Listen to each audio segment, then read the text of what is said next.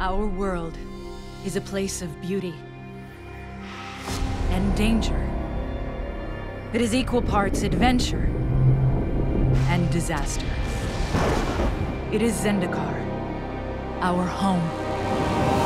And it is under siege. Monsters have emerged everywhere. Some say they have been here all along, trapped. But I say they are not of this world. And it is we who are trapped.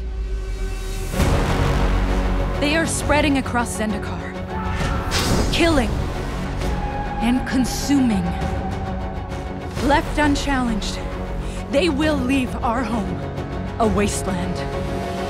But Zendikar has its defenders. Heroes who fight to save this world from the forces that threaten to destroy it. We all must find strength in one another.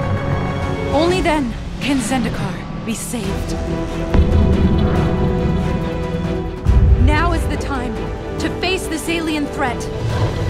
To take a stand. To battle for Zendikar.